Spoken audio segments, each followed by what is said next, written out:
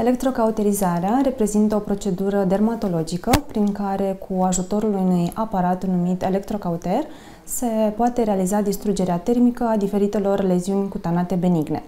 Electrocauterul, prin intermediul unui câmp magnetic generat de doi electrozi, reușește să realizeze practic arderea țesuturilor.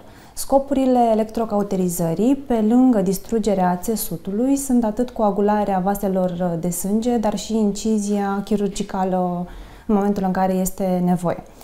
Uh, electrocauterizarea este o procedură care nu doare, ea se realizează în prealabil folosind o anestezie locală, fie că este vorba de folosirea cremei anestezice, fie că este vorba de o anestezie locală injectabilă.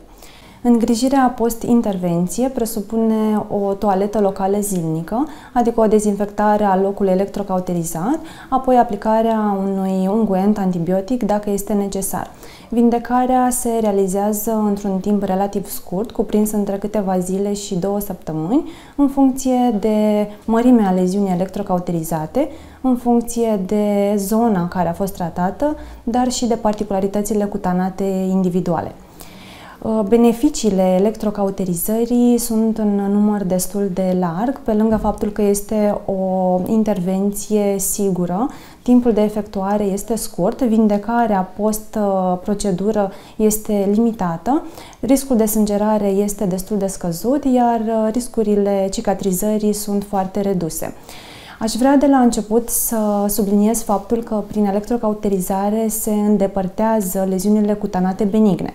Astfel, lista afecțiunilor care pot fi rezolvate prin această intervenție o reprezintă cheratozele seboreice, verucile vulgare sau negii denumiți populari, velucile plane, condiloamele sau negii genitali, angioamele, moluscum pendulum, granulomul piogenic, dar și moluscum contagiosum. Există într-adevăr câteva contraindicații ale acestei proceduri.